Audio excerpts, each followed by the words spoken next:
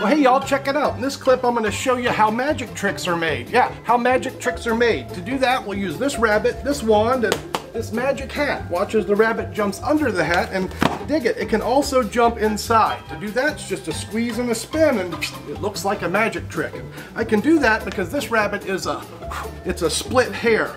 It's a split hare. I digress. Hey, let's pretend. We'll pretend. That's Mama Bunny. That's Papa. Papa Bunny watches the Mama jumps to the Papa. What? Yeah. And then they both jump into my hat. My warm, dark, dank, dusky, musky magic hat. What do you think they're doing in there? Making TV dinners?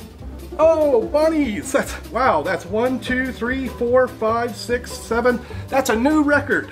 That's how magic tricks are made. Happy holidays, y'all.